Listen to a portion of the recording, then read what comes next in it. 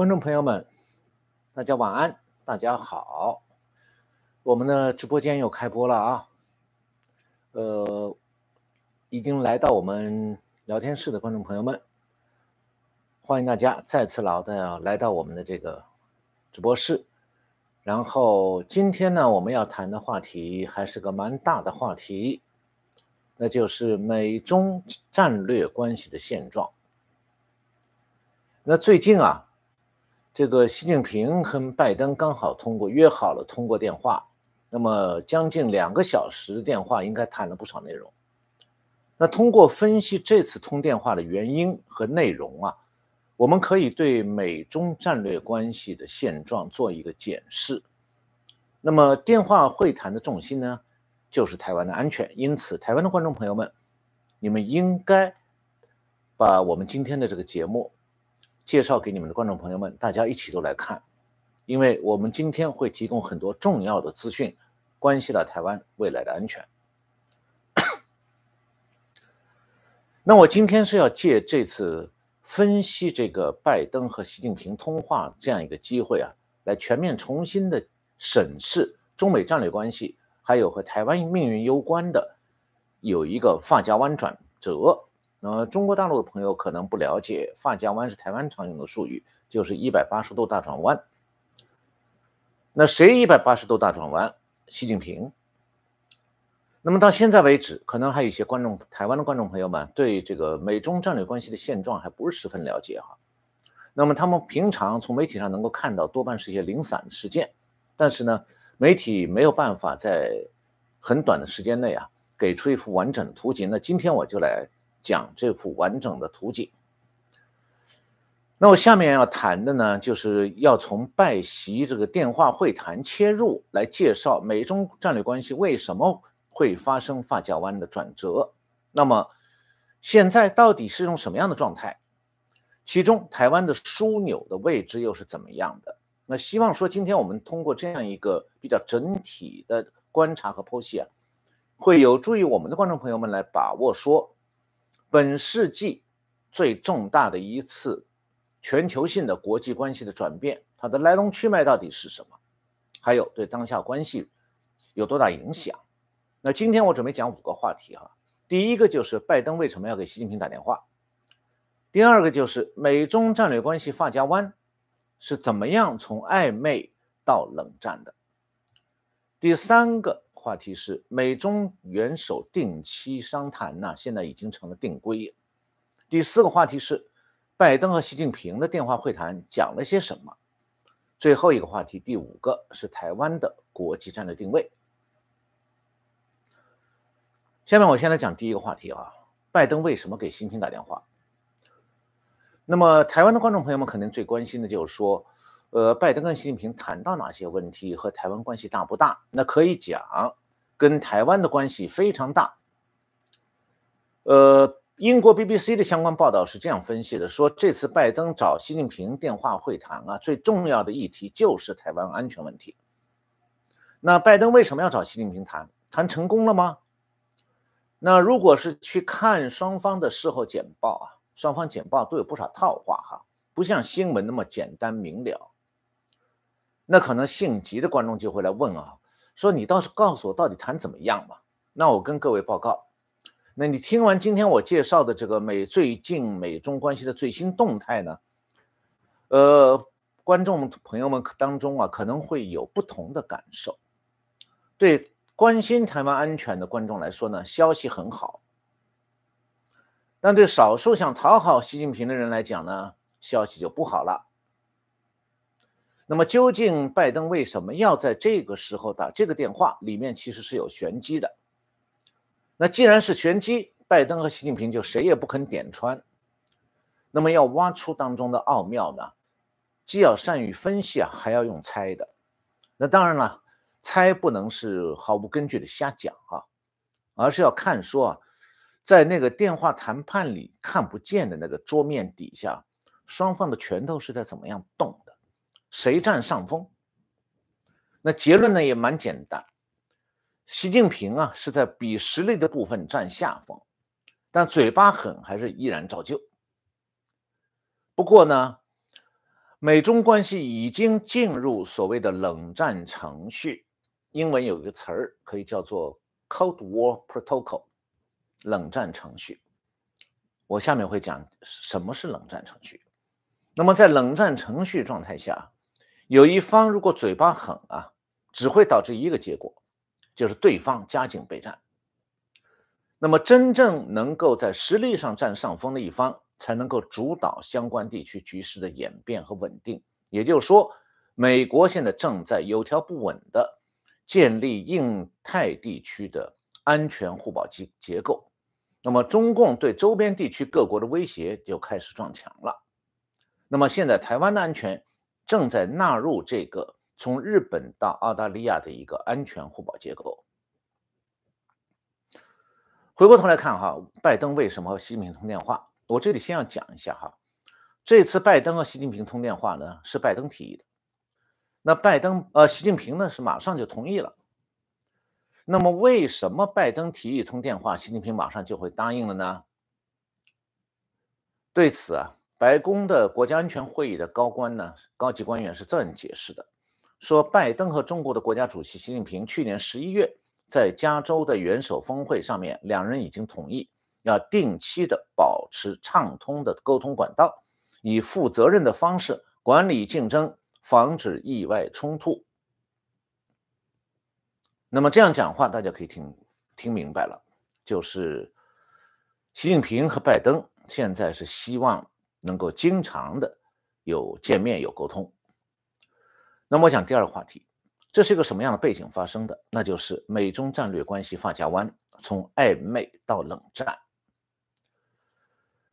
我想哈，今后的世界上的历史学家呀，对过去这四年的国际关系肯定会大写特写的。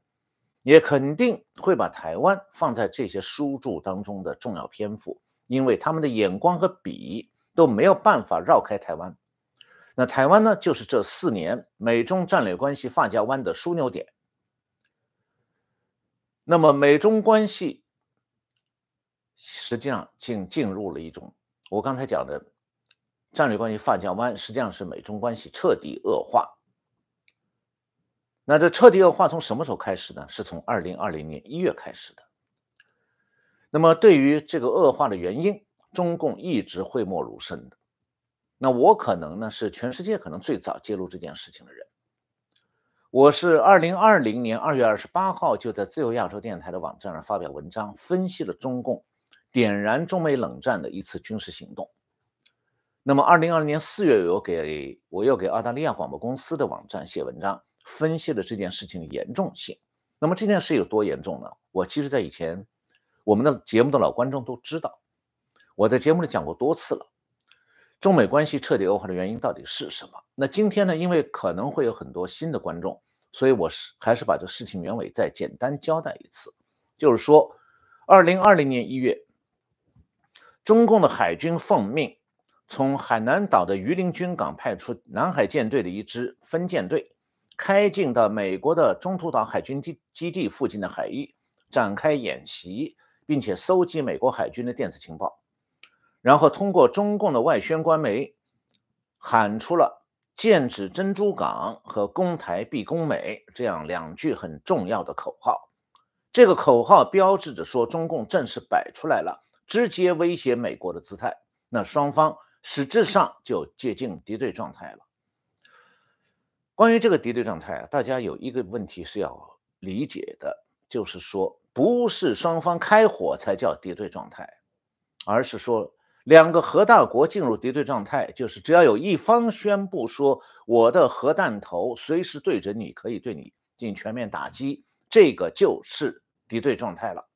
进入这个状态以后，对这个重大事件，中共的对内官媒从来没有报道过，一个字不敢提。不想让国内人知道。那么另外一方面，我刚才提到了，中共有一个国家安全部的外宣官媒叫多维新闻，但这个网站在中国的防火墙内是禁止访问的，因此所有所以中国人呢，从在防火墙里头不翻墙，你是没办法看到中共的外宣官媒上宣传这一次中途岛事件的整个原委的。那美国的媒体也没有报道过。那这其中原因就可能复杂一点了，我以后有机会再讲啊。呃，拜登他二零二一年进白宫的时候啊，他曾经是继续仿效奥巴马的错误的对中国的政策。那具体的国防的部分，就是说当时中共是在大力的扩军，并且对美国亮剑。那么拜登呢，还是用国民主党当时掌控的国会。掌控多数的美国国会众议院，然后顶住了美国军方的压力，坚持要压缩美国的军费预算。所以，二零二一年，美国是在面对中国点燃中美冷战以后，拜登当局的态度是压缩军费预算。那么，在这种背景下，习近平很神气，所以二零二一年一月，他就喊出来了“东升西降”的口号，而且基本上切断了美中之间的重要沟通沟通管道。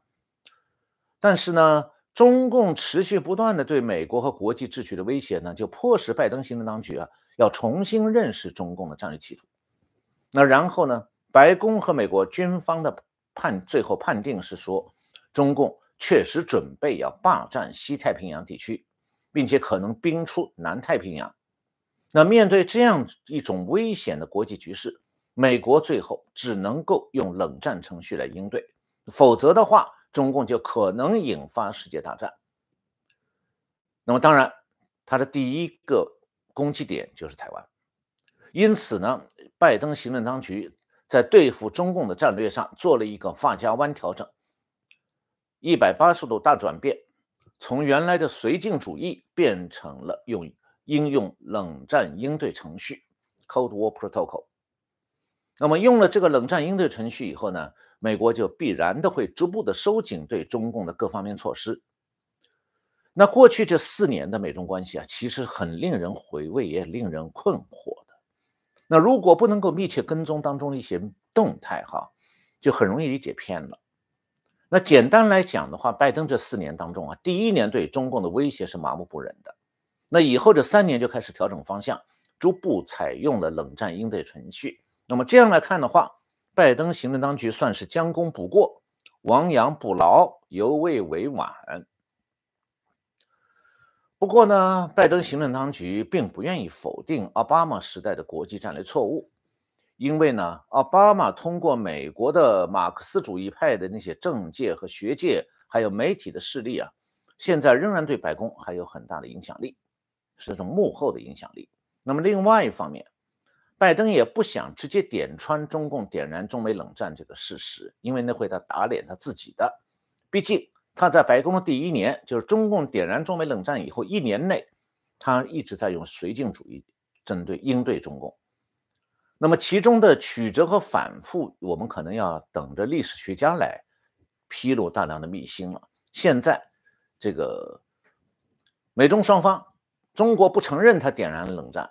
美国不想点穿它，中共点燃冷战，但是美国对中共的战略转变完成了。美国开始使用应对冷战敌人的，像对付苏联那样的一整套的应对程序。那么这方面其实台湾的体会很深，只是说很多人呢不一定是从我刚才讲的这个角度去理解的。那么现在美台关系的深化呢，其实就是美国对中共战略转变的结果。这个部分我不讲了哈，因为台湾的媒体有很多报道了。当然了，这个美国呢也不是说这个它的所有的政策，白宫只管一套对外政策，白宫还有一大堆对内的政策，而对内政策当中有一系列严重的错误的对内政策。那么这些对内政策也不免的会影响到台湾，因为最近啊有一件事情，就是台积电在美国设厂呢进展缓慢。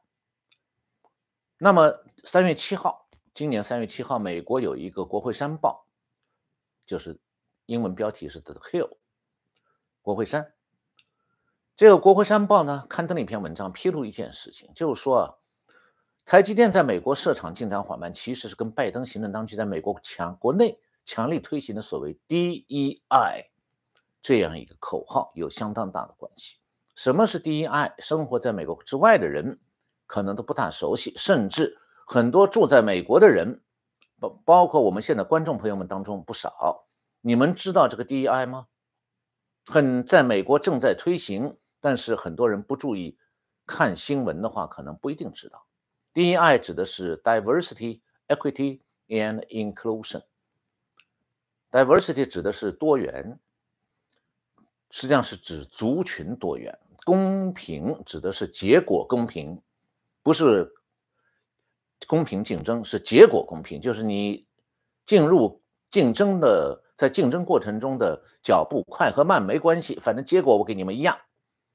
还有一个 inclusion 叫融入，是那么国我现在不去多谈这个 DEI 哈，但是我就谈三月七号美国的国会山报刊登了一篇文章，标题叫做 DEI 废除了 CHIP 法案，它的英文原标题叫做 DI kill the CHIPS Act。那这篇文章讲的是什么呢？他说啊按照美国这个 DEI 方针啊，美国的晶片并晶片法案里就是要补助台积电，还有这个三星，还有美国的 Intel 公这些 IC 产业的大公司，在美国建厂。但是他说，这个进美国的拜登在晶片法案里面塞进去了很多要满足 DEI 口号的要求，比方讲哈，按照 DEI 的要求，企业就必须先满足 DEI。否则的话，晶片法案的拨款不到位，就不给钱。那么这些 DI 口号是什么？比方讲，他要求说，台积电在美国的人力资源部门啊，要雇佣大量和培训，要雇佣和培训大量的这个少数族裔，包括黑人呐，这个拉丁裔呀，还有持有各种 LGBTQ 啊这些这个性别特点的人群。要优先雇佣，而且呢，要实现在招聘当中要实现族群多样化。那么问题是，这个族群现在这些个族群现在在美国政府的保护下呢，呃，在行政当局的保护下，现在变得越来越有侵略性。啊，住在纽约和加州的人应该蛮有体会的。另外呢，就是还需要雇佣持极左派政治立场的人。与此同时，雇佣这些人的时候，要取消关于学位的要求，就你没有文化程度，不能做工作，也必须要雇佣，因为它符合美国政府这个 DEI 的要求。因此，这些族群也会变得很神气，说你必须雇佣我，雇佣我还要给我高薪，高薪了我也不工作，我就在那里拿高薪白干啊，白拿，因为我政治正确。那如果这个要求被执行了，台积电的。在美国市场，它的良品率就不会有了，就那变得失败了。这就是美拜登政这个国内政策对台湾也会有一些影响哈。我这里讲到这里，这个由于这个问题啊，就台积电在美国设厂的问题，是国会山报登了文章，这件事情已经曝光了，所以我在这里补充一下，它不是我今天要谈的主题。主题，那接下来我谈第三个话题。美中元首定期商谈成定规。那么，在这一次拜登和习近平通话之前啊，美国国安会对美中关系有一个背景新闻的发布会。这个国家安全的美国国安会的高级官员在这个新闻发布会上说啊，说美国非常在意维护台海的和平稳定，而且特别考虑到了台湾五月就要举行总统就职典礼，在这个期间。要特别的维护台海的和平稳定。那同时也透露，从去年十一月拜登和习近平在加州见面之后，美中两国的元首原则上商定是差不多每年要见一面，而且互相多通电话。那美中两国元首定期见面、互相通电话、经常通电话是出于什么需要？大家可以想一下。可能很多人没想过，美国需要和什么法国啊、英国呀这些，这个加拿大啊，或者是这个澳大利亚这些重要的盟友都做这样安排，还比如日本，啊，一定要定期的见面，经常互通电话吗？有这样的安排吗？没有。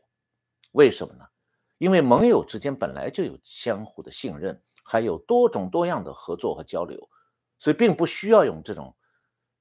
非常有形式感、仪式感的这种所谓定期见面、互通、经常互通电话。那么，什么样的国家需要这样做一个定期见面、经常互通电话的一种安排呢？只有一种情况，那就是冷战中的两个互相敌对的核大国，这样的定期沟通就是必须的，而且是非常重要的。因为只有在这种定期沟通和经常通电话的状况下，世界和平才能得到保障。保持了沟通，才能够避免发生意外。所以，拜登去年十一月当面跟习近平讲过，说双方如果不能够定期的保持畅通的沟通渠道，就没有办法以负责任的方式，让两国之间既中美两国之间既竞争又防止冲突。呃，这里呀讲的竞争哈，很多人会把它理解成商场上的平常的竞争，不一样哦。中美之间现在的竞争也不是两个自由民主国家发各自发展当中，还有这个平常的各种交往当中的和平竞争，不是和平竞争，也不是商场竞争，是什么竞争呢？是核大国互相敌对状况下多方位的实力竞争，特别是这个竞争主，特别是各自在提升提升啊，针对对方的军事实力。也包括遏制对方军事科技的能力，这个竞争其实就是冷战执行程，呃，就是执行冷战的程序的一个主要部分。那么，习近平是在去年十一月旧金山和拜登会面的时候，算是懂了一上堂课，懂了一点，那就是说，按照冷战程序，美中之间这种定期保持的畅通的沟通方式，是中美冷战双方。防止冲突的 guardrail 就是护栏，是 guardrail 这个一部分。因为呢，冷战当中双方都不能够背着对方搞小动作，什么偷偷摸摸的去安排一些威胁对方的事情。如果这样做一旦被发现，那么就会打破冷战中的这种双方的这个态势的平衡，尤其是双方会发现说对方有新的想。威胁我的意图，那么双方关系全面关系就会恶化。那么自从拜登调整了美国的对中共的战略，并且向习近平亮牌了，这就表明说，美国不会再回头和中共搞暧昧了，也搞不成暧昧了，暧昧不起来了。双方核弹头相互对着的时候，没有暧昧的空间，没有暧昧的余地。那么习近平自己也发现说呢，他的处境现在越来越不妙了。对内对外都是这样子，那么在这样的背景下，习近平他当然也不想放弃中美沟通的机会，所以现在是这个美中刚刚呃，就是拜登和习近平刚通过电话，那其实这场电话的通话电话会谈哈，是今年一月份安排的。一月份，美国的高级安全顾问萨勒文在泰国的曼谷就见了中共负责外交的王毅，那在那个时候，三个月前。中美双方就讨论了，要在今年一季度安排好这次电话会谈。所以这次电话会谈呢，是几个月前就安排好的，习近平也完全同意。那拜登是不是因此就非常像台湾有些政治人物讲的，就 must trust 习近平呢？拜登信任习近平吗？拜登本人没说过这个话，就是他有是不是信任习近平哈？不过呢，四月一号，在拜登和习近平通话之前，美国国家安全国安会啊，对美中关系的背景新闻发布会上面，美国的国家安全会高官呢，讲过了这样一句话。他说：“当中国人说他们会或者不会做某事的时候，我们并没有真正相信他们的，我们并没有真正相信他们的话。这什么态度呢？”这种就是双方处于冷战状态下，对民红色大国的领导人必须有的态度。你不能信任他，但也必须保持沟通。这不是为了友好哈，而是为了不开打。当然了，这样的沟通是以实力为前提的，没有实力你就跟他沟通不起来的，他理都不理你。那么从这里又带出来一个问题。美中元首定期会见现在成了定规，是不是意味着美中关系走向改善，还是说美中关系进入冷战程序？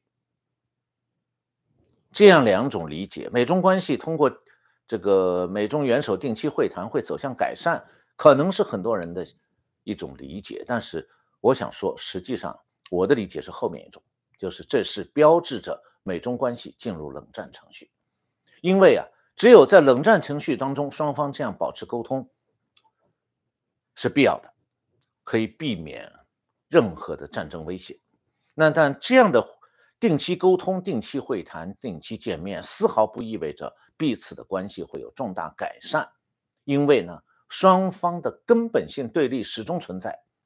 这不是简单的讲说制度性的对立，民主制度对专制制度那种制度，只要共产党国家存在，始终是对立的。他们共产党一直反资本主义，但是当然他更恨民主制度。但是，冷战的真正含义是两个大国核大国之间的核武器一直瞄准对方。中共过去没有宣布过说他的核武器是对美国的，他过去只是说我们没有特定的瞄准对象，其实他一直瞄着美国，他没说。但是当他宣布的时候，说他的核武器全对着美国，而且可以。准确的打击到美国的任何地方，这种话讲出来，这就是相当于冷战的宣战。虽然他没有发射核弹头，但是对美国来讲，这样的核武器威胁是灭国的威胁，美国没有任何退让和这个徘徊的空间。这个时候，靠握手和沟通是不可能化解这种核武器对着对方的对立的。因为这个对立的标志啊，是几百枚带核弹头的洲际飞弹，除非中国销毁这些飞弹，那中国说啊，我你们不销毁，我凭什么销毁啊？这就是冷战。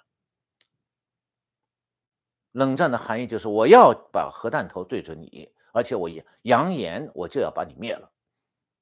那么这时候就体现出来一个冷战本身的。我以前讲过，冷战有。不同的铁律，其中不能开打是一个铁律。但现在有第二个铁律，我讲出来，那就是说，冷战不会导致双方关系朝友好的方向转变，不会了，再也没有了，不会有好关系了。那么，冷战下双方的关系是什么？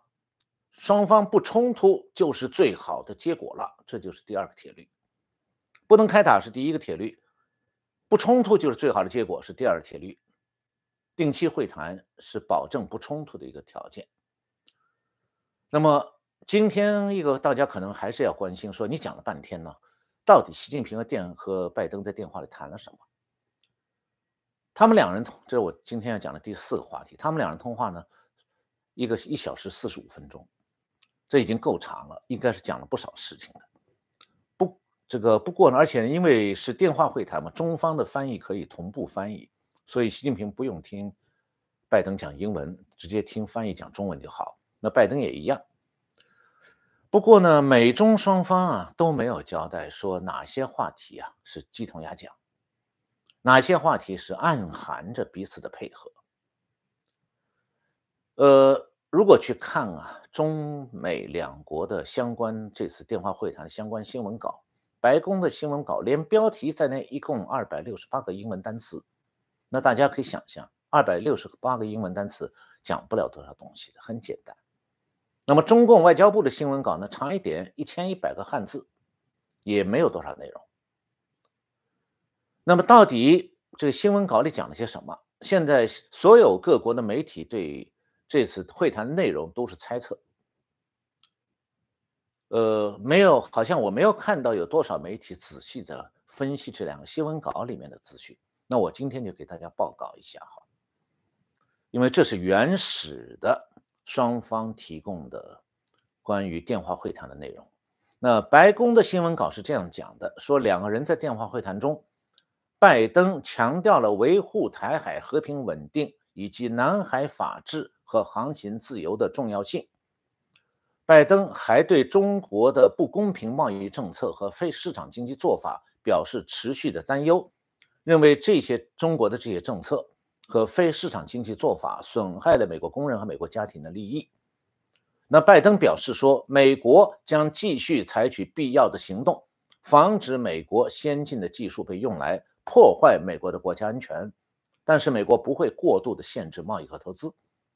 那简单来讲，根据白宫的新闻稿，拜登主要讲了三个部分：第一，美国要维护台海的和平稳定；第二，中国不能够低价倾销到美国市场来摧毁，呃，美国的经济和其他国家的经济；那第三，美国实施的对中国的晶片战非常必要，是美国国家安全的保障，所以不会停下来，而且会推进。当然了，拜登讲的具体内容，我们现在并不知道，嗯，还没有解密哈，要很若干年、很多年以后才会解密。我相信讲了还有很多。那么，美国是不是对这次会谈寄予很高期望呢？其实啊，根本就不能够对红色大国抱有良好的期望的。所以呢？美国国安会对美中关系的这个背景新闻新闻背景发布会上面，美国的国安会高管针对双方元首的电话沟通啊，特地讲了这样一句话：不要指望由此产生新的结果。这说明啊，美方呢在意的是沟通本身，沟通不要中断，从而能够避免印太地区发生真的军事冲突。但是。美国并不相信中共会全面退让。那么，习近平会不会表面上在敷衍拜登，然后悍然发动对台湾的军事攻击呢？假如他真这么做的话，一定他是偷偷做的，悄悄做了，他不可能事先发公告嘛。但是，他要真这么做的话，他休想瞒住美国，因为美国是以高度备战的姿态，紧紧盯着共军的一举一动。我在以后节目里会讲，现在美军已经把针对中国的备战的指挥中心、司令部的指挥权推进到一线了，推到了日美军的驻日司令部。就是说，以前是在夏威夷的美军司令部负责指挥，现在改成在日本指挥，就推进到前线了。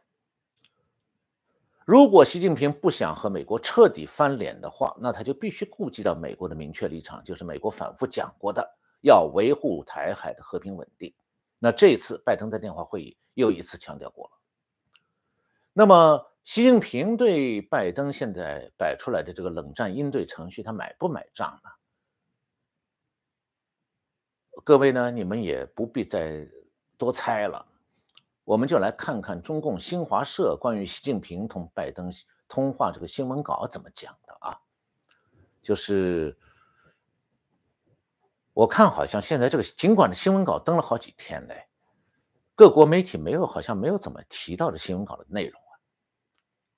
我简单讲一下啊，这个我引用这个新华社关于这个这次拜习近平拜登通话的相关的。习近平的立场，就习近平中方宣布，习近平讲了这样一些话。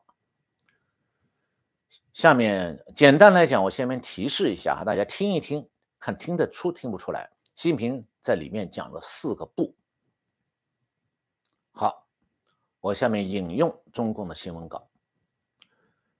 中共的总书记习近平在电话会谈里是这样讲的，他说：“中美这样两个大国。”不能不来往、不打交道，更不能冲突对抗，应该互相尊重、和平共处。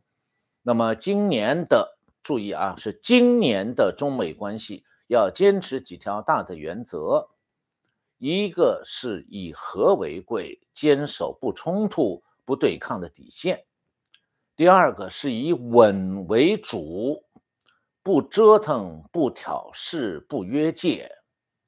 保持中美关系总体稳定。三是以信为本，用行动兑现各自承诺。双方要以互相尊重的方式加强对话，以慎重的态度管控分歧。这些话怎么解读？我的解读是说，习近平在电话中的表态，是认可拜登的冷战程序的，并且做出了短期保证，就是一年内的保证。他所以他提出来的今年二零二四年中国对美国的四步方针，这四步我刚从刚才那段新华社新闻稿里头总结出来的就是四个不：不冲突、不对抗、不挑事、不越界。四个不。当然了，红色大国的领导人的言而无信是有历史记录的，无论是苏共还是中共都是如此。但是呢？美中关系已经进入冷战程序了，这本身就意味着说，红色大国是必须要和冷战对手保持沟通的。那么，正常沟通的前提就是，你总不能够不断的言而无信吧？背信弃弃言呐？我们不说背信弃义哈，中共也没什么义可守的。所以，中共在冷战状态下和冷战对手的关系啊。其中有一些不基本的部分是要有自我约束的，是不能够像毛泽东当年那样为所欲为、胡作非为。那么，习近平刚才电话里，我呃刚才提到他在电话里讲的是第三点，就是要以信为本，以用行动兑现各自承诺，要以相互尊重的方式加强对话，以慎重的态度管控分歧。他这就是在强调说，习近平承认要。讲话算点数，那但是习近平真有那么乖吗？当然不是啦。他在对台关系上面，在跟拜登通话时又强调说，希望美国不要支持台独。在经济制裁的部分呢，习近平说啊，你们美国制裁中国企业的单子越拉越长，是在制造风险。那这两种说法都是对美国的指责。美国呢，当然白宫的新报新闻稿里头。没有回应，也根本就没提到这两段话，好像习近平没讲过似的。所以我才讲说，习近平呢在比实力方面是占下风的，但是嘴巴狠呢还是照旧的。但是这里面也是有玄机的。刚才讲到经济制裁的部分，习近平说中国制裁美国制裁中国企业的单子越拉越长，是在制造风险。他没有说不可以制裁啊，要取消制裁，他没有啊。这话意思是你制裁一些一些企业也就算了，制裁晶片不让禁运呢，我们也不得不接受，但你别再扩大了。也就是说，习近平在某种程度上也不能强行的向美国提出来必须解除晶片制、晶片制裁，用这个作为交换条件来保保持这个所谓台海的稳定。实际上，他知道这个条件要价太高，做不到。美国已经实施了，退不回来了。也就是说，习近平已经懂了，冷战当中啊，双方掐对方的脖子，这是必然的。当你的核弹头对着对方的时候，不许对方来掐你的脖子，那是不可能的。那么。讲到这里啊，我还想再讲一次一另外一条冷战的铁律，就是很多人都在讲说，这个冷战当中啊，双方不能动手。确实如此，冷战双方是不能够动手的。你可以掐脖子，但是不能够真掐，要做出个姿态，但是不能够真想去把人家掐死的。为什么呢？你真想那么做，就会导致双方毁灭，因为现在冷战的情。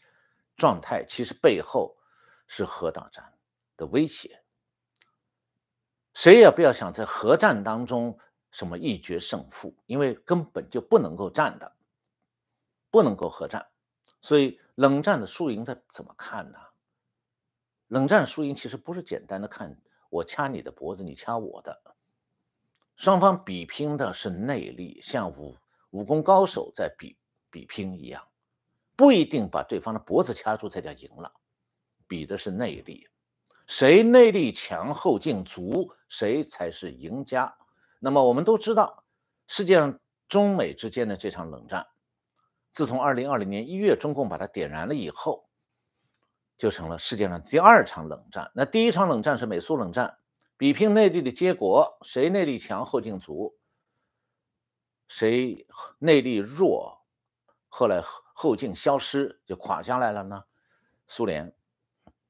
那么这一次美中冷战会是什么结果？我们今天介绍的这个习近平和拜登的这次电话会谈，习近平在电话里谈的内容，已经给了大家一些理解了哈。可以，我们通过习近平刚才讲的四步来做出相当程度的理解，就是说，习近平也知道他现在内力不行，实力上他是很弱的。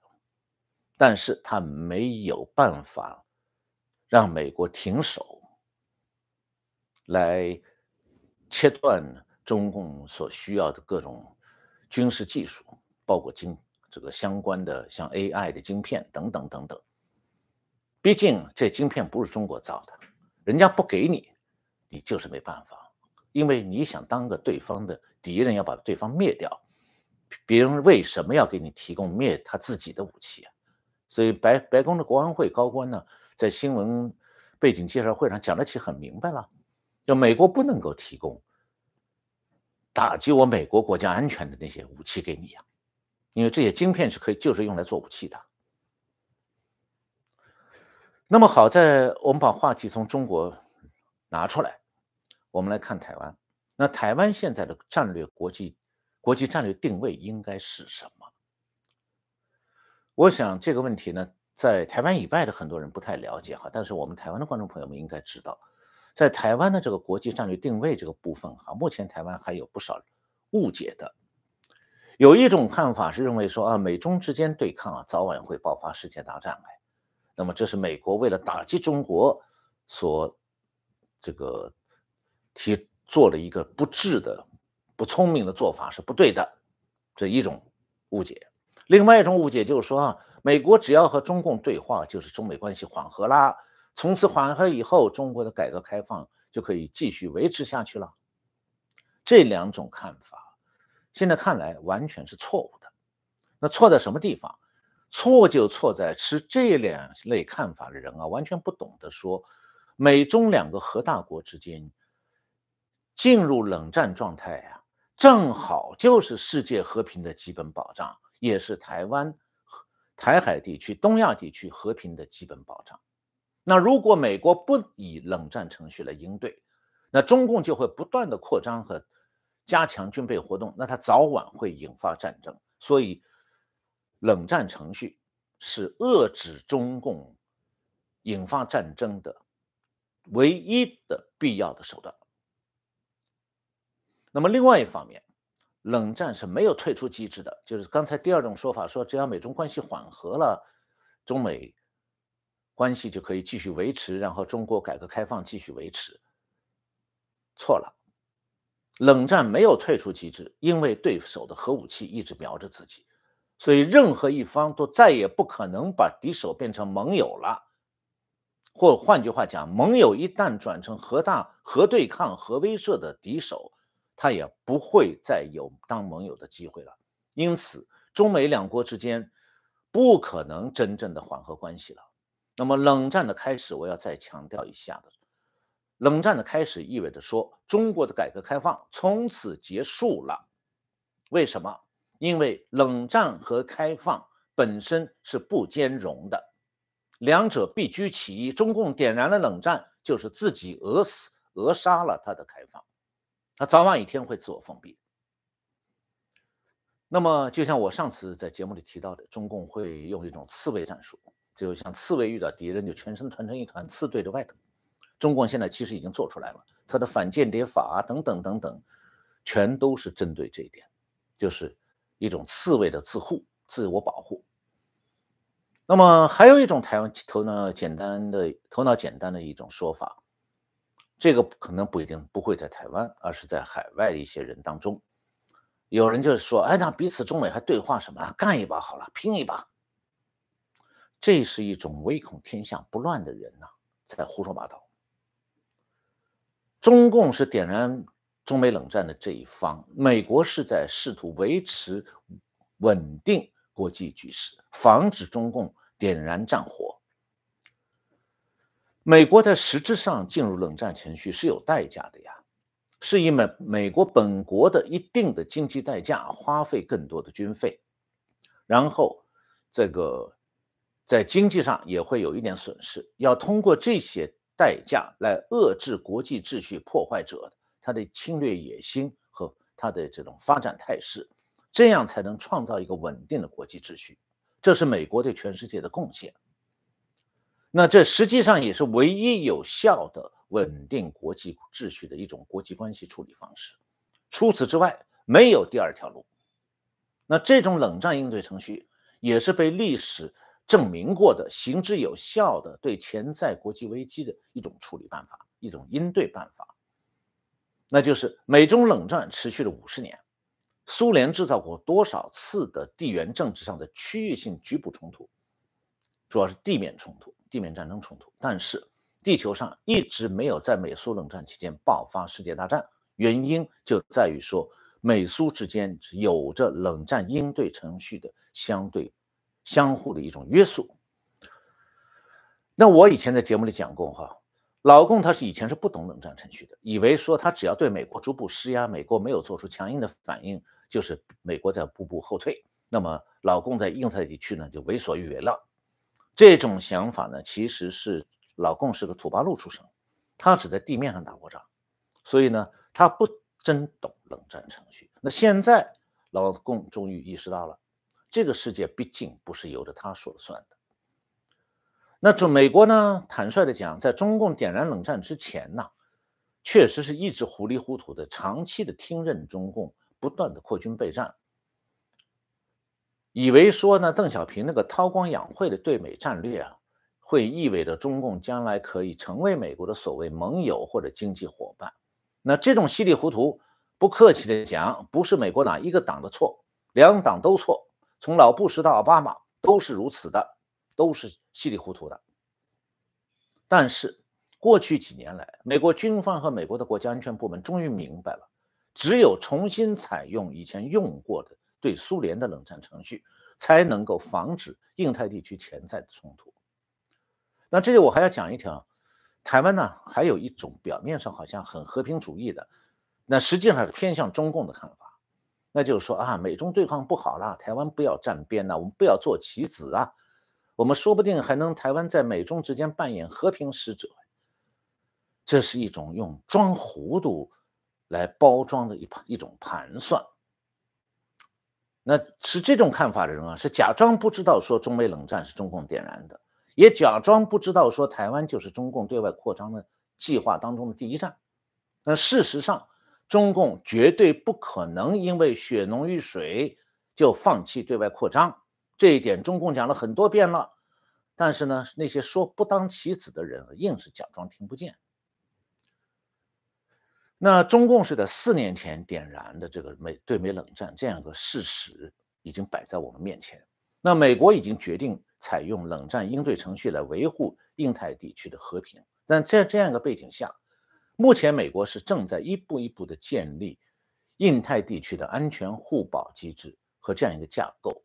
那台湾已经是这个安全互保机制的受益者，也是印太地区安全互保机制的重要成员。那在这种情况下，台湾唯一可能获得国家安全的战略，就是和盟友一起共同守护印太地区的和平与安全。那台湾已经这样做了，而且做得很成功。那台湾和美国之间的关系因此也就越来越深化。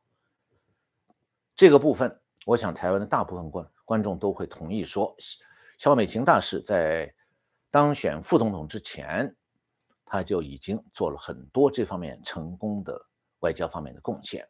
那这个部分，我以后呢，就是这个台湾和周边的美国的盟友怎么样在建立一个印太地区的国际安全的一个互保机制。这个部分，美国正在做，台湾也在加入其之中。现在此时此刻，台湾的海军司令员、海军司令还在美国访问。那么这部分其实有很多内容，我们有机会我来专门讲哈。那么拜登跟习近平通话，有一些人总在想说，会不会让美中美关系真正缓解，然后解除冷战状态呢？那我刚刚讲过了，冷战没有退出机制的，解除不了。也不光是讲说老共不会放弃共产党理念，不会改邪归正，而是说啊，冷战状态下，只要有一方他不肯放弃核武器，不肯销毁核武器，那么冷战就不会停止。那么冷战不能停止的情况下，冷战既存，那么双方要不断的问，持续的对话，就是绝对是国际安全的必要过程。之所以会这样对话，就是因为冷战状态的长期存在。所以，美中关系和美国与日本的盟友关系完全不同的。中美现在的这种关系属于互不信任的敌手双方，又交手又谈判。那么，在这样的谈判过程当中，维持住这冷战中的冷，就是说不要爆发热战，是这个谈判的唯一目的。是对话的唯一目的。那么，当然维持住了冷冷战的冷，不爆发热战，也就不会有世界大战了。那么，今天我就先把这个部分，呃，这五个话题讲完了。接下来，我想我们可以来看看哈，这个我们观众朋友们，呃，有些什么问题哈。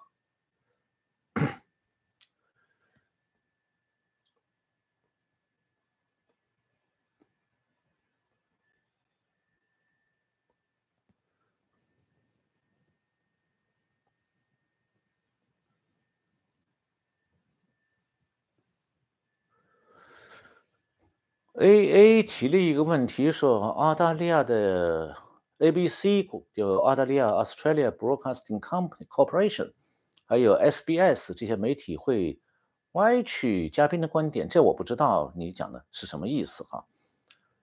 呃，我在 S B S 上刊登的文章都是我的原文，没有任何歪曲，所以，呃，我不知道你从哪里看来的啊。我是我投给他们的稿子，他们是原文原状刊登的，没有对我任何的歪曲。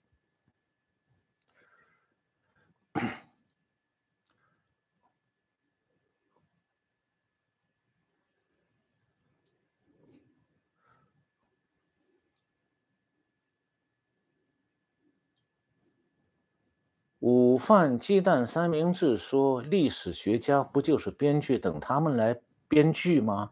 不对耶，你对历史学家的这个功能有点理解错了。历史学家是研究历史的，也就是说，他们是等历史发生过之后才来才来写历史的。当然，他们写历史的过程有自己的偏好。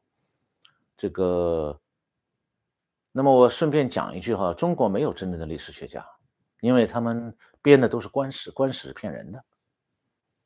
假的部分占很大，你从这个意义上讲，你讲的是对的。就在中共那里，历史学家确实是编剧，是为共产党粉饰的，篡改历史的。当然了，中共还有一些跟这个共产党没有关系写这个古代史的，比方写明史的，那也有同样的问题，就是他们也有一套共产党的史观。呃，那个我们不去管它。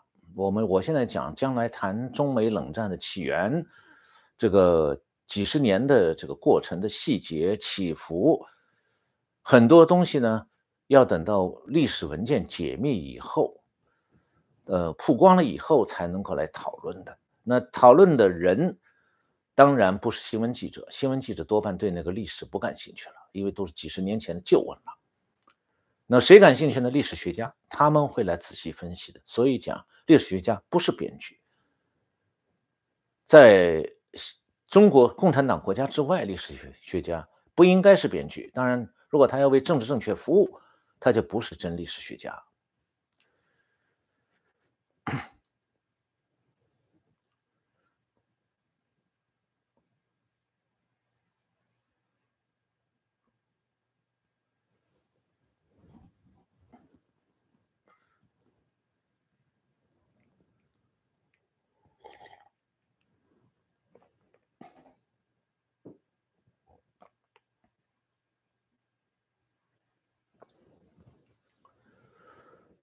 那个有一位，这个马斯米门斯坦说啊，这个 DI 就是我前面提到那个美国民主党现在正在推行的这个政政策，是怎么赔本怎么来？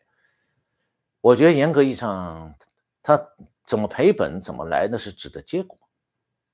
实际上 D N I 的真实含义是说，我不管企业的经营如何，有没有效率，会不会被弄垮掉，我就是要把我的这些个所谓的铁杆族群捧成这个最高贵的、最美国最重要的族群，拥有特权的群体。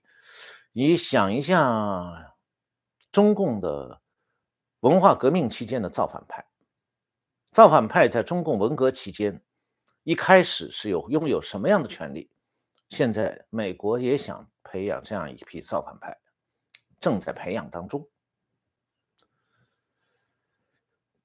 平均率问说结果公平，不就是共产的意思吗？没错啊，我没有抢。这个“共产”两个字，但是我强调，equity 实际上指的就是结果公平，就是说你努力不努力，你上班不上班，反正我给你发一样的钱。它是打击竞争、遏制竞争、维护一些个不愿意努力工作的群体，维护他们的权益了。然后。Peter W 说呢，这些族群不就是零元购的那个群体吗？没错。我为什么我说人家可以不用工作也过得不错呢？人家可以零元购啊。这个台湾很多民众可能没听说过零元购，零元购就是抢劫的意思。这是民众给了一个中性的解释，就是说加州和纽约都有政府的行政规定，说进商店抢劫。拿的一千块以下不算抢，算零元购，就是人家不掏钱就从你那里拿走了，购买了，但是经购买是不付钱的，所以叫零元购。也因此，现在加州和纽约很多小店都被迫倒闭了。你经得起抢吗？那问题是，如果你经常抢，抢的都呃很有很有钱了。抢一抢一个店，一次就可以抢上几百块钱的货。你一个一个月抢三十次、五十次，那很难吗？人家说警察在哪里？警察奉命不许管干预。你要说这是什么？这就是共产。美国不是共产国，但美国现在有想推行共产的人。那那个幕后的精神领袖就是奥巴马，他自己就是一个有共产党意识的一个混合。混进白宫的这么一个人，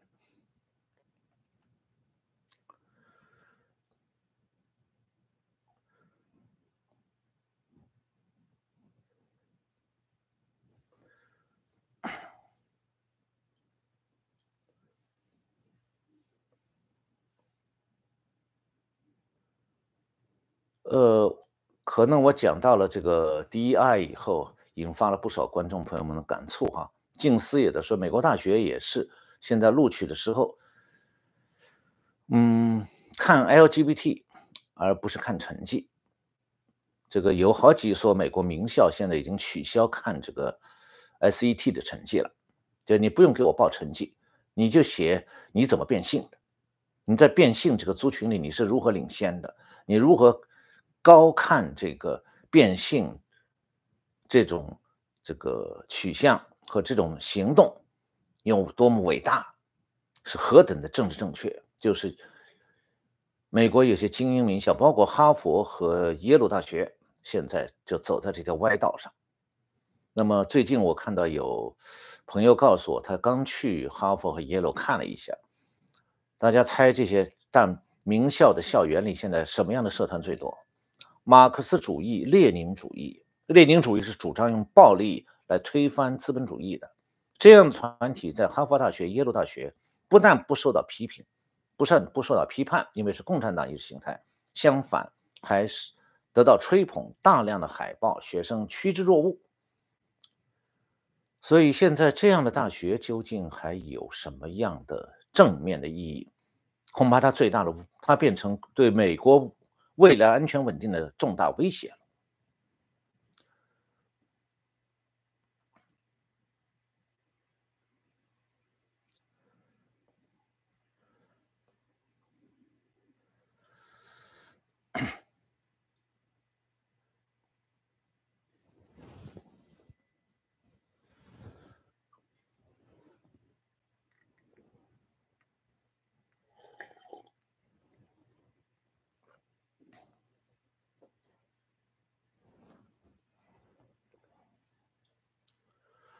哎，你说这个几十我几十年如一日坚守保守价值观，这个这个字呢？对不起，我把“保守”两个字还给你啊，我不接受这个说法。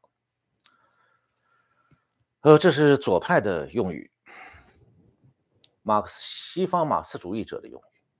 我从来反马克思主义。这几十年，我到了西西方国家以后，先到欧洲，再到美国，我最反感的就是在中国已经被很多人看透了的马克思主义。这种人类历史的反动价值观，在欧洲又扩散到美国，受到吹受到追捧，然后把和他们价值观不合的说成是保守价值观，说他们是进步的。进步这两个字被马克思主义的信徒们玷污了，因此才出来一个保守价值观。错了，保守价值观就是传统价值观，传统价值观才是西方民主自由制度的基础。如果说要追求进步主义，那追求的就是马克思主义的那一套，根子里是这样的。马克思主义没有正当性，很可惜，现在今天的这个西方社会，这是一个巨大的危险。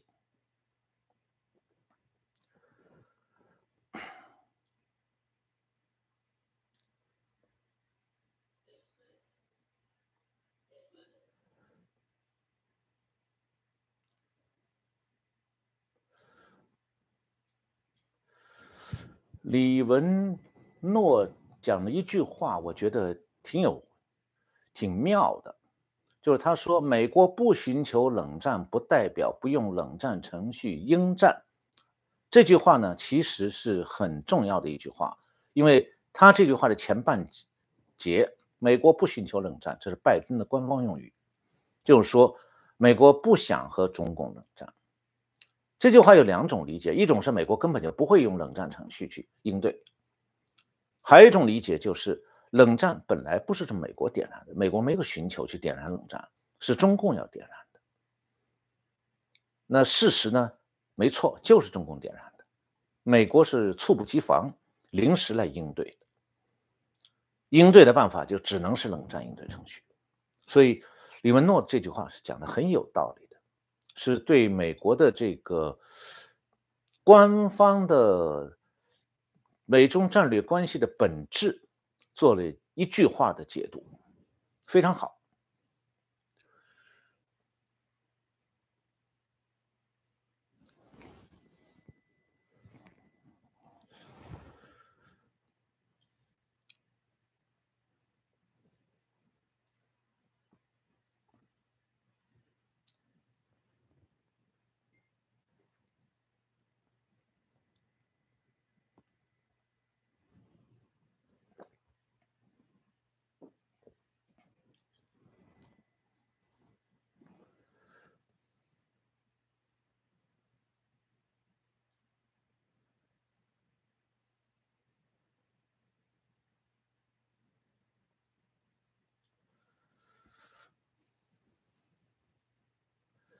呃，乌迪，你提了一个很好的问题。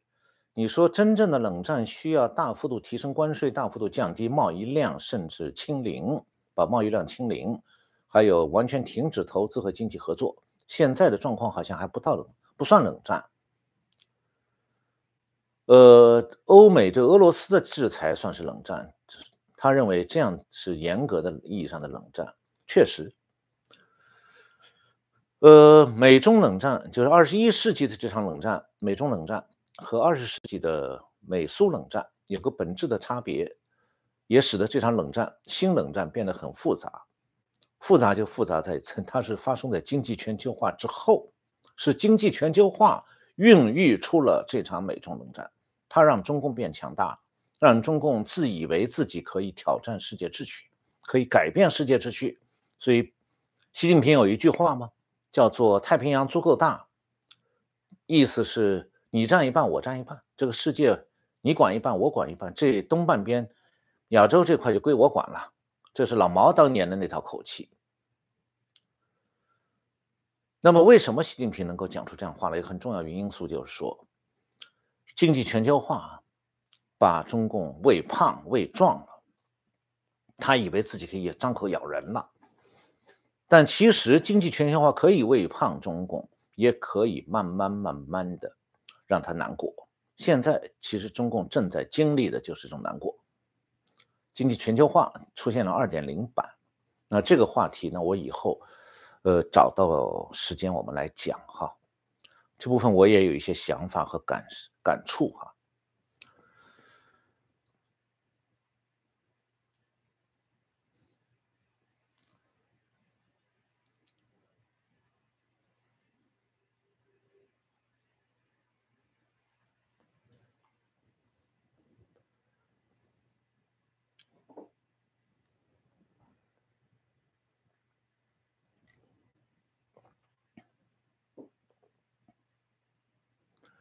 呃，台湾山林组农民，你讲说中共和美国的空军实力差别很大，中共是一千七百架战机，美国、日本、韩、韩国、台湾加起来超过一万架，确实如此。但是实际上，空军的传统的空中格斗这个年代已经结束了，就是说，空军的战机啊，中共军现在还走的是那条传统的空军这个。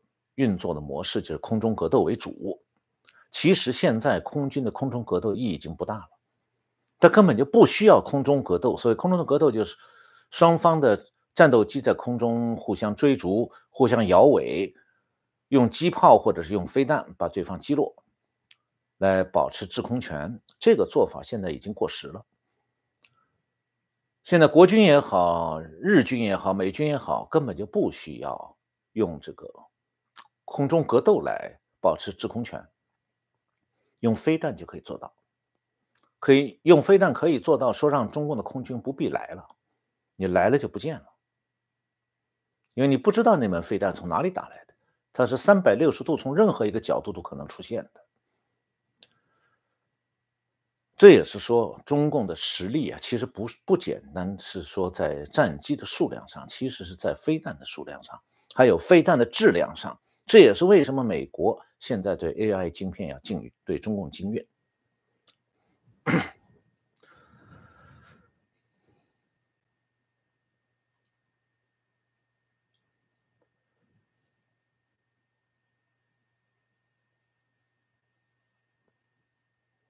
谈谈在那里说说中共不怕核弹威胁，苏联当年用核弹威胁中国，中国都没怕。你讲错了，中共那年怕了，老毛把他自己，还有像林彪这些高层领导人，一九六九年全部撤到北京以外去了。北京是个空城。一九七零年夏天，我专门去过一趟北京，那个时候我就发现说，北京这个城里头人口少了一大半，因为中央机关已经全部撤空了，只留了一个办事机构在原来的。办公楼里头，大部分人全部撤到他们叫做干校、干部学校，住在农村里头。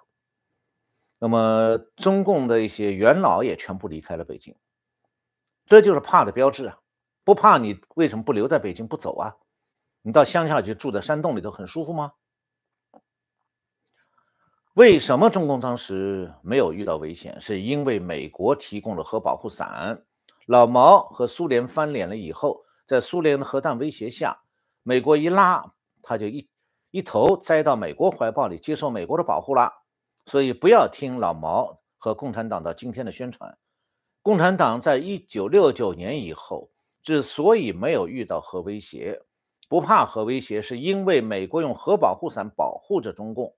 美国对苏联说：“你要是对北京扔原子弹，我就对莫斯科扔。这样的话，苏联就不扔了。”这个就是我讲的冷战应对程序。所以看来啊，讲冷战应对程序，对中国的那边的翻墙出来的观众朋友们来讲，还是个很新的概念。因为中国的从专家开始，从习近平本人开始都不懂，那么就会讲出很多。很怎么说啊？很奇怪的言论呢。实际上，就中，因为以前中国也不去研究美苏冷战，因为他觉得跟我没关系。没错，你是美国保护的，所以实际上中国人并不真懂这个冷战的含义，也不懂冷战的结果，经常会把这个冷战和热战混为一谈啊。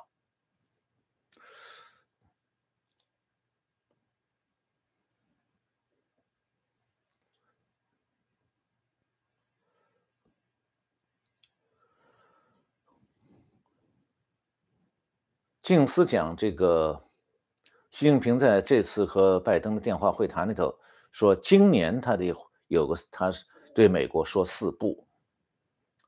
那么说这习近平只是保证一年，没错，他保证的也不过就是一年。然后别人来说，习近平说的话可以信吗？应该反着听。这句话呢，我觉得你讲的也对也不对，就是说习近平。习近平的话能信吗？我节目里讲了不能信。那美国国安官员也说了，我们从来就他讲什么要做什么或不做什么，我们不都不会全信他的。所以真要信他是不对的。但是你要说完全不信，反着听呢，也没那么简单，因为他里面还有些话，他是是说了以后，他打算做的。我就举一件事情，这美国昨天刚公布。公布的资讯，就美国军方宣布说，这个今年三月二十三号之前，过去的一年里头，美军被美国的军用飞机被共军军机骚扰的次数多达几百次，三百多次，平均一天一次。但是自从习近平这个准备和拜登对话以后，通这次电话，这点确确定了以后。现在中共对美国军机基本上停止骚扰了，就是说他也不是完全的每个字都不靠谱，这要反着听的，就是这是个艺术，这就我讲懂冷战，你要明白他哪句话是半真半假，哪句话是全假的，哪句话有点真，这个。有时候我在想啊，这个我们在谈冷战应对程序，冷战中的美中关系，冷战中的台湾的国际战略地位，其实涉及到一个最大的问题，就是你用什么样的眼镜来看这个周边世界和看你的天空。我举一个简单的例子，就是一个人到了年龄以后，这个眼镜，比方就不管是近视也好，是远视也好。需要调换眼镜，调整度数。你不能够说我到马路边上眼镜摊上随便买一副眼镜，或者别人以前用过不要的眼镜拿过来就戴上，说没问题了，这也是眼镜一样的，我换一副就好，行吗？不行啊，眼镜是要对着度数的，要要测量了眼睛的这个实际状况以后，才能配出合适的眼镜来。那么。看冷战，理解冷战也同样的，你要需要一副正确的眼镜，因为外部环境在变，你的眼睛相应也也在变，所以外部环境导致了台湾的自身的战略地位在发生重要的变化，这是个变化是积极的，对台湾非常有利的，但是你必须换眼镜，换了眼镜你就看得比较清楚。不换眼镜，就好比说你始终用一副度数不对的眼镜，你看什么都是花花的、不清楚的、看不远的。所以，我想我们这里，我这有点像卖眼镜的啊。我卖的不是那个看得见的眼镜，是是一种这个，呃，帮大家校正度数的思维。校正了这个思维，你看什么都清清楚楚了。呃，马斯米 Manstein 问我说：“以后还会和明居正教授对谈切磋吗？”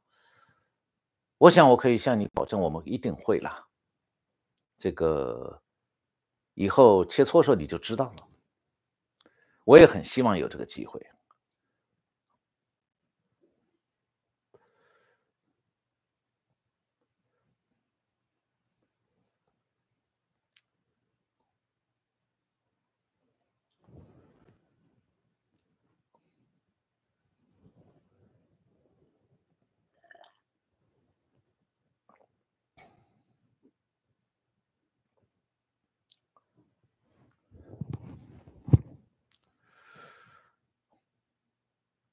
呃，杨江亚说：“这个美台不是不不是盟友，胜似盟友，合作无上限。”呃，这句话确实是差不多的。美台确实就是盟友。这个实际上，我前面讲到说，现在美国正在建构一个印太地区的相关的美国的友好国家、盟友国家的一种互相保护的一种机制、一个架构。台湾是其中最关键的一环。也因此，台湾现在正在逐步、逐步的落实这个部分。但是，台湾和其他国家一样，都有杂音的。我想，最近在北京的那位不就是杂音的一个部分吗？你不能说人家一点都不代表台湾人啊！他他最不爱听就这句话。他希望自己代表中华民国。那问题，中华民国要他代表吗？中华民国的国民两千两百万，大家投票已经投过了。今年大选已经投出来结果了，所以连国民党中央好像也不大喜欢他来代表。这个前党主席也不见得就是代表现在的国民党，对吧？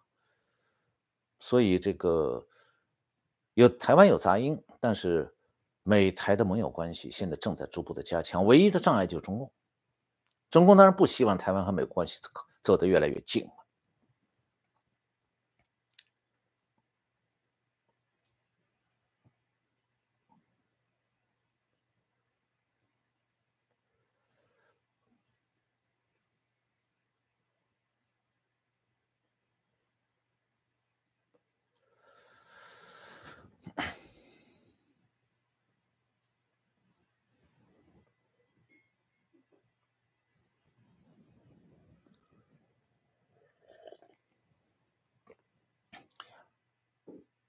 江亚有一些话，我你的话我看了以后不是很明白。你说苏联二战是盟友，所以有冷战；中美不是盟友，所以中美关系没有冷战。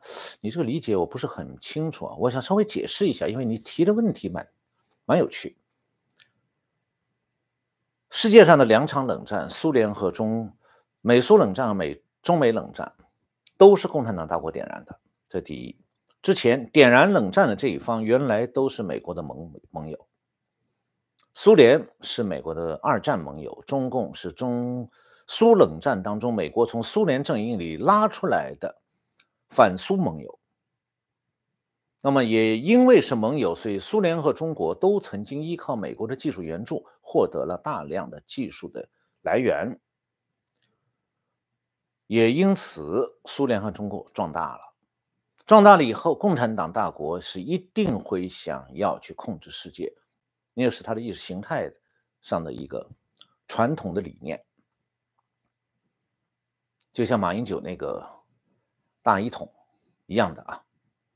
那么，所以呢，红色大国是必然要点燃中冷战的。苏联点燃了苏美冷战、美苏冷战，中共点燃了中美冷战。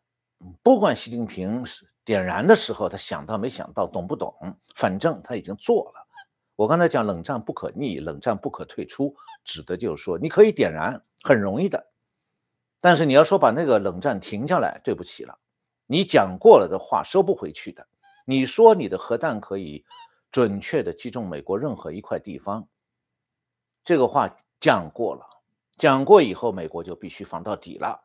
我不能够寄希望于说你哪天不想打我了，我就不防了，我敞开门让你打，没有这回事的，所以冷战停不下来。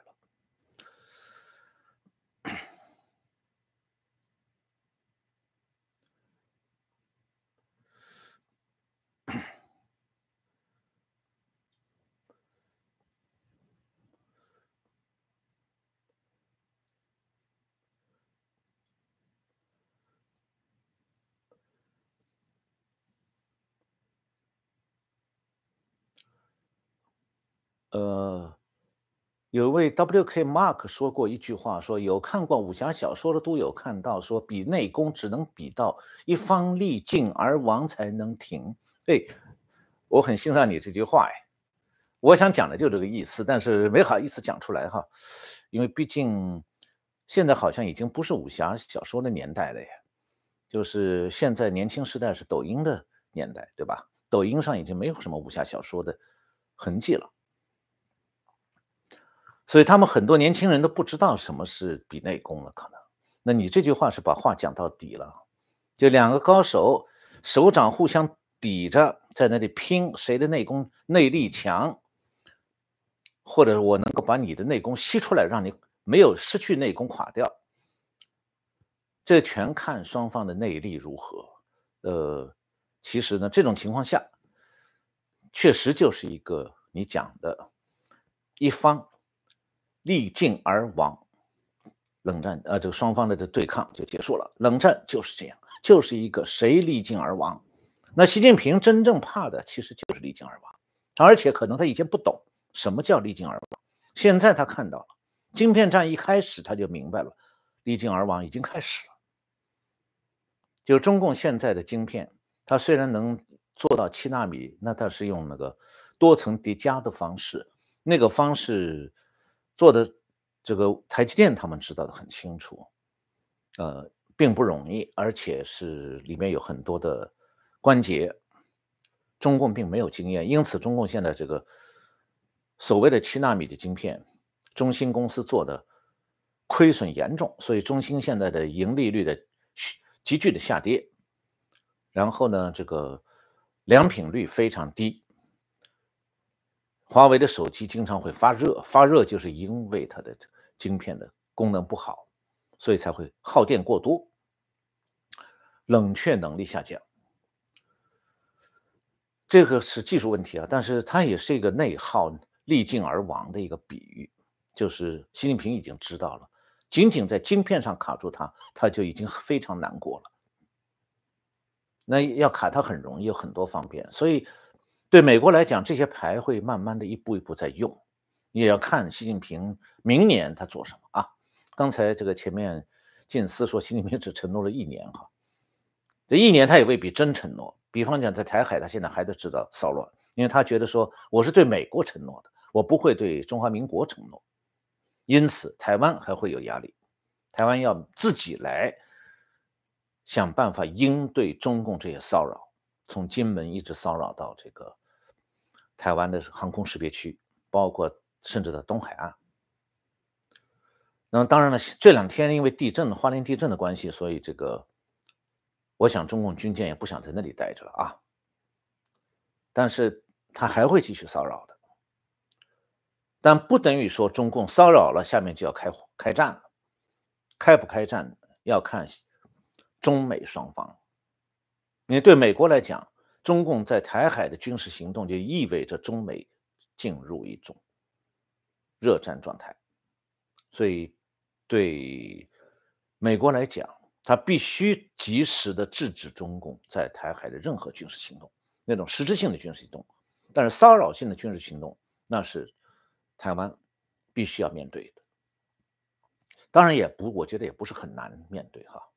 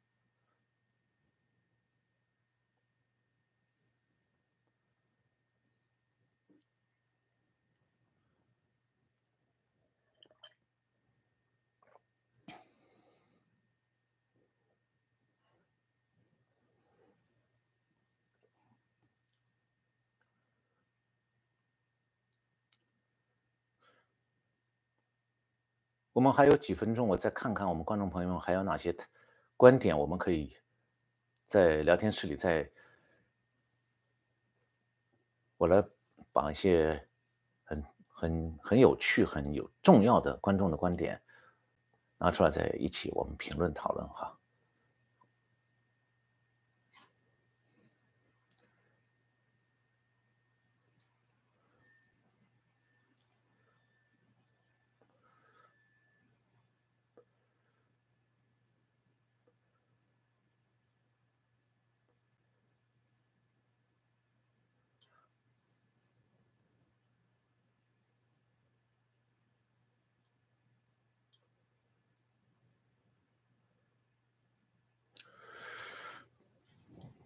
夏维成说：“这个，我刚才讲到了，台湾要用一种新的眼界来重新思考台湾的国这个国家战略地位啊，跟谢金河老师说的这个台湾应该要从小国家的视野换成大国思维，有异曲同工之妙。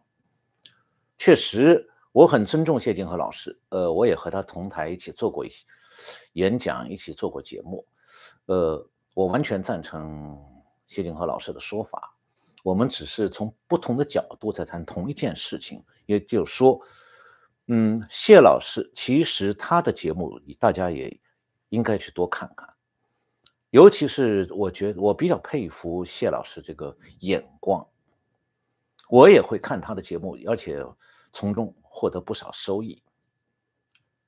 呃，我假如有机会再见到谢老师，我很希望说我们再一起来讨论一番。嗯，我想。是很有意思的，因为会这个看法接近、眼光也相似的人呢，在一起讨论的时候，会有一种互相的激励，哈，就是能所谓的头脑风暴，能够激励出很多新的想法来。我也很期待有这样的机会，哈。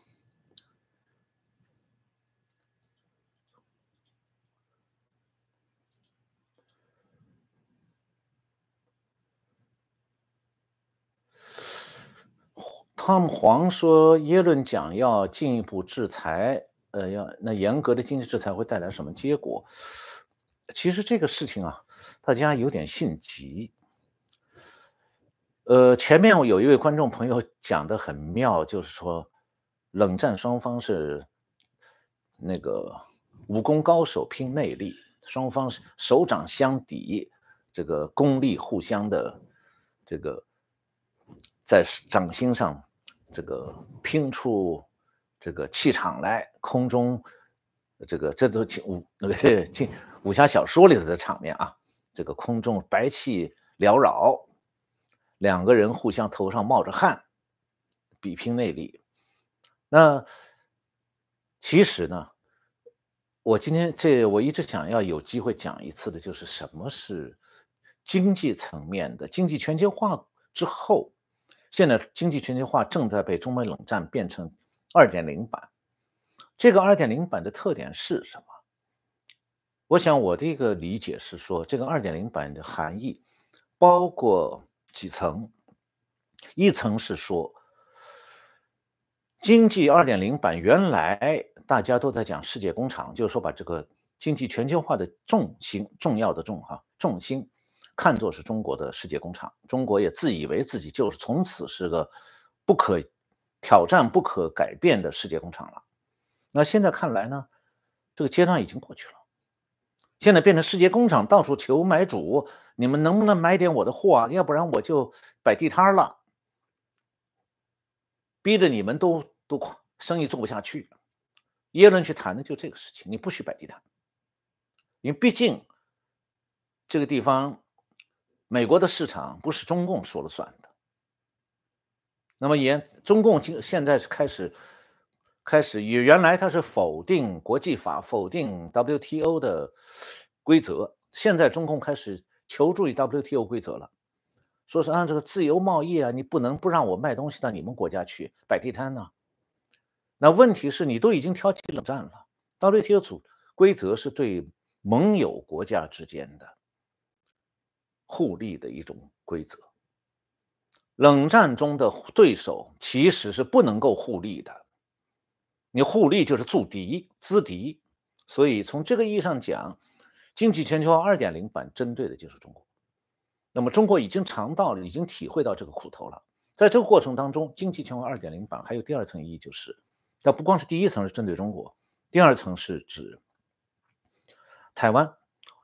在晶片发展、IC 产业的发展过程当中，正在取得一种独一无二的地位。因此，以这个晶片业、IC 产业，还有 AI 技术的逐渐的推广，这个一 AI 产技术带来的新一代的产业革命，以这个为起点，经济全球化2.0，使得整个经济的全球重心从中国转移出来，到台湾了。相当一部分到台湾。我们不能说台湾是晶片产业的唯一的这个基地，因为毕竟你还有 Intel，还有三星还在竞争。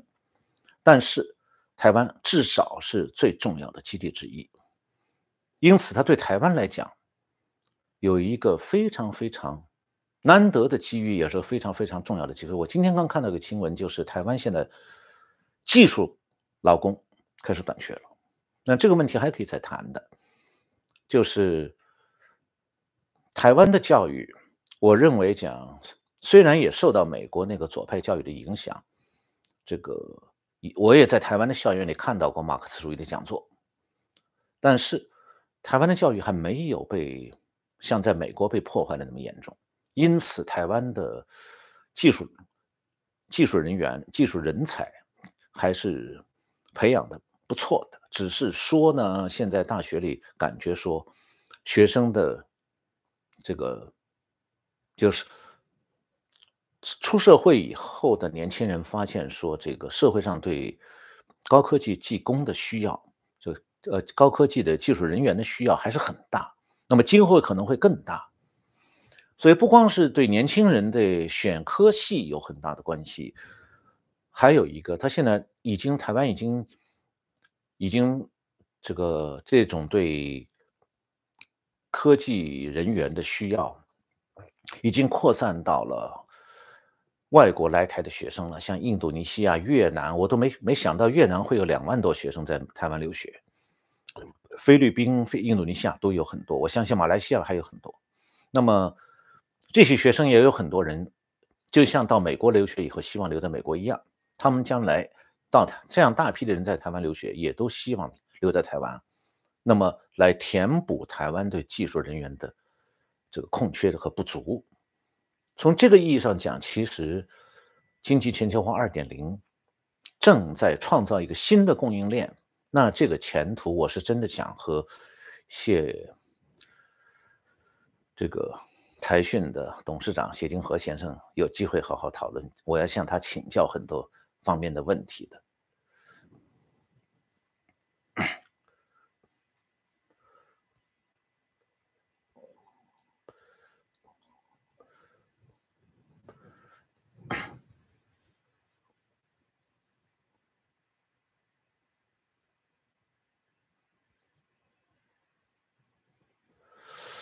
有一个萨利萨利问了我一个有点，我有点奇怪的问题啊，说你为什么会专门针对台湾观众做华语节目？这不是我要做，是台湾的节目邀请我参加，就是台湾的正经最前线节目邀请我来参加，作为他们嘉宾。那面向台湾的观众，我当然谈的是他们想要听的问题。呃，我们这个正经最前线呢，呃，有大概。一大半观众是台湾的观众，那么还有一部分是海外的华人观众，再有一部分是这个中国大陆翻墙出来的观众。至于你说我在哪里学的台湾国语，我没觉得我在讲台湾国语。你要我讲的话是可以学着讲哈，这个我觉得不是也不是很难了，因为都是国语嘛，所以。并不是我在针对台湾观众做华语节目啊，而是台湾的华语节目邀请我担任嘉宾，我感到很荣幸有这样的机会。呃，至于说其他的，我并没有自己做什么自媒体啊。我们这个直播间也是正经最前线专门开设的，原因是可以为我们的观众朋友们，就像我们现在此时此刻这样。提供一个机会，说我们可以通过直播的方式在聊天室里头互相交流。比方讲，在这里你就可以提问题，我们也可以一起来，我可以回答你问题哈。这个我倒是觉得有兴趣，说如果有机会到台湾去，我看学两句台语，其实我也会两句哈。这个我。不同国家语言东一句西一句，我也会几句。我倒有兴趣想多学点台语。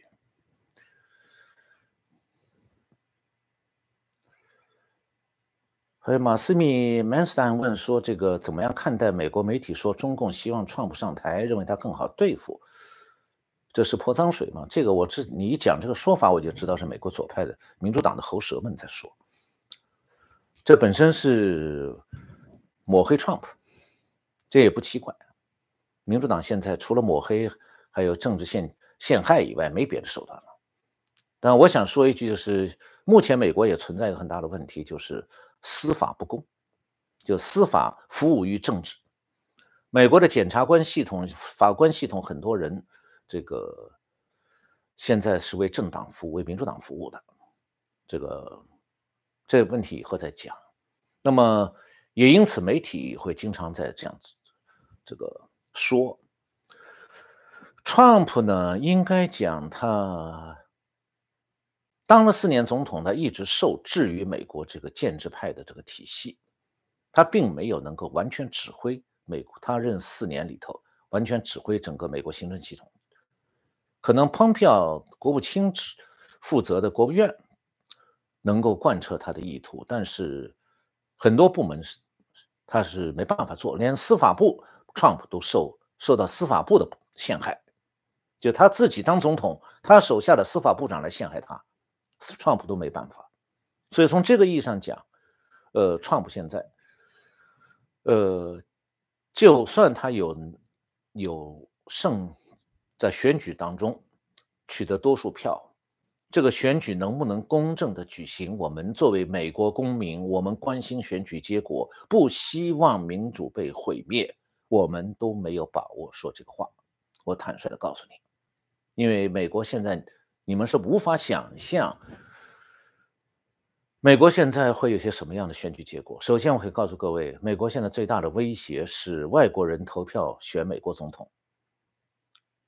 耶鲁大学有一份报告说，美国民主党执政这四年里头，已经进口了将近两千多万从中南美洲、还有中东地区、非洲地区来的非法移民。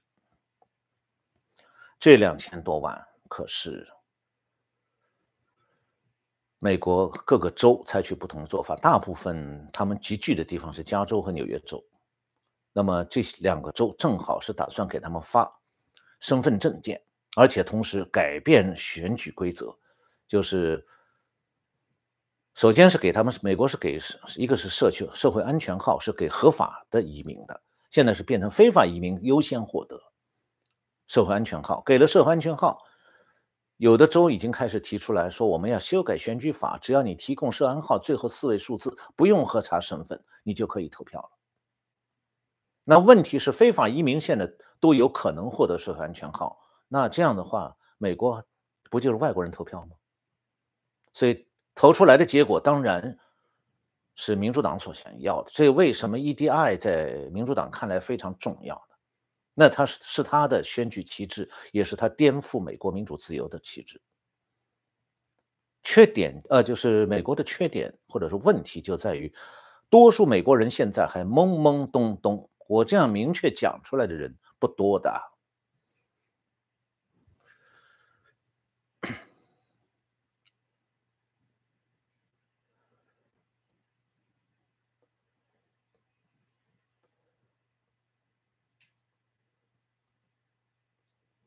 呃，呃，谢谢扎里扎里啊，这个谢谢你对我们节目的支持，非常感谢。呃，我我想我会一直在这档节目里，这个和观众朋友们一起见面哈。谢谢你对我们的支持。这个还有张慧婷，张慧婷女士刚才也给了我们很多支持，非常感谢哈。今天时间有点长，这个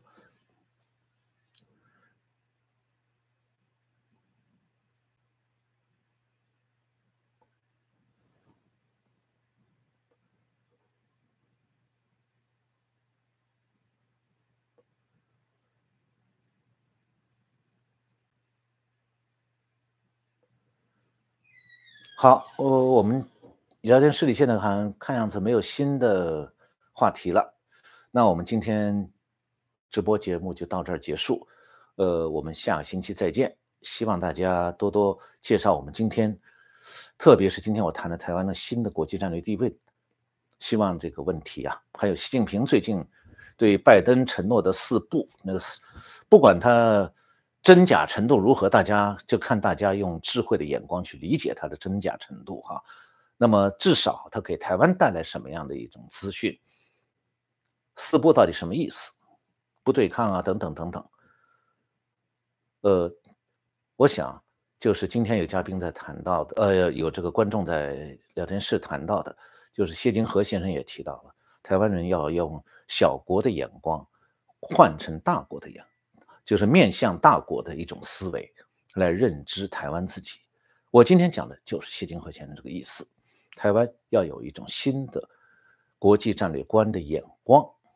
那么，中美关系现在基本上大局定下来了，就是进入冷战状态。呃，今后这种状态。会不断的在变。我刚才讲到说，美国不会一次把台打完，习近平也不会把台一次打完。他说一年，意思是说，咱咱们这个牌打着看。明年我再说明年的话，明年可能他也有小小的翻一次脸，但是有一条，他不至于大翻脸了，因为大翻脸就意味着毁灭。所以，假如习近平不是哪一天脑神经被血冲了。这个发了疯，否则，假如不是这种情况，那他应该知道的很清楚，他的那个国家，嗯，不能够毁灭的，没有人要他把中国毁灭掉。既然不要毁灭中国，那么中国的领导人就要想设法，在他自己已经给自己画出来的道上面走的时候，怎么样活下去？中国人也关心的也是一个活着。那习近平也想不让中国人活着，那他这个日子也不会好过。那我今天就到这里，谢谢大家。呃，希望大家转传订阅，按下小铃铛。呃，我们下星期再见。